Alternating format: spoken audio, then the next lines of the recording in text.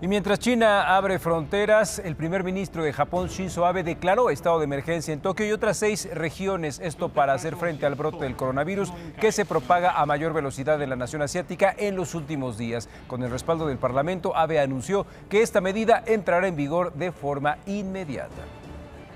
En estas circunstancias he determinado que esta es una situación en la que existe la preocupación de que una infección rápida y generalizada en todo el país pueda causar un impacto significativo en los medios de vida de las personas y la economía.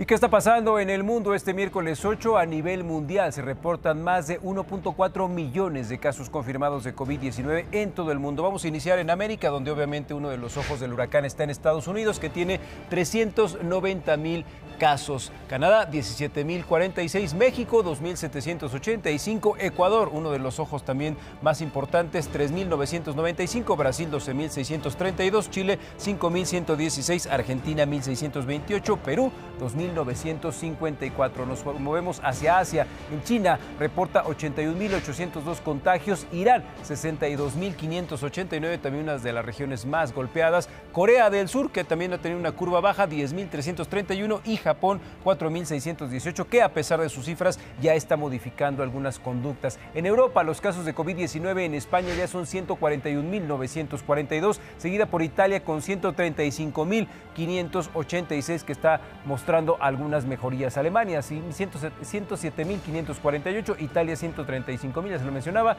Países Bajos 19.709, Reino Unido 55.940, en donde su primer ministro sigue en terapia intensiva. En África se reportan 1.749 casos en Sudáfrica, 1.450 en Egipto, 1.468 en Argelia y 1.184 en Marruecos, así como 623 en Túnez y 297 en Senegal. Finalmente nos movemos hacia Oceanía, en donde las cifras se mueven de la siguiente manera. Australia, 5.895, lugar donde están probando uno de los medicamentos que quizá podría tener la solución a este problema. Guam, 113 y Nueva Zelanda, 1.160. Así las cifras del en esto del COVID-19, pero bueno, del mundo a los deportes con Robert López Olvera.